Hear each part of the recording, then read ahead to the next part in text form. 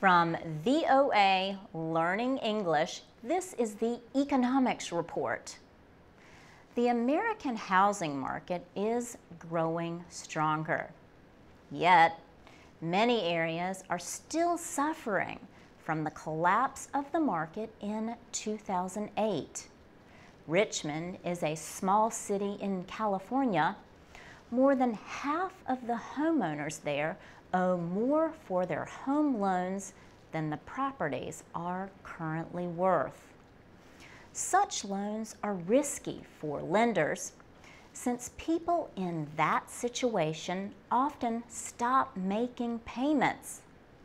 Now, city officials are moving forward with a plan to rescue these struggling homeowners. The city wants to buy the mortgages from banks for an amount equal to the current value of the properties. It plans to work with an investment company to help each homeowner get a new mortgage through government programs and private investors. City officials say if banks do not cooperate, they will force the lenders to sell the loans.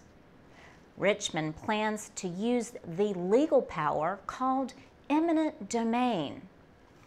This allows officials to take a property, but requires the government to pay fair market value. State and local governments use this legal power to take property needed for public purposes, such as new roads, schools, or economic development. At least two banks are asking a federal court to intervene. They want the court to prevent the city of Richmond from using eminent domain. Lawyers for the banks say investors such as retirees would lose money. They also say the action would interfere with their contracts with investors. The United States paid billions of dollars to rescue banks during the world financial crisis.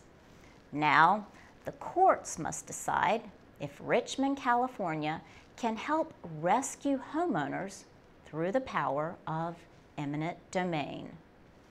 For VOA Learning English, I'm Laurel Bowman.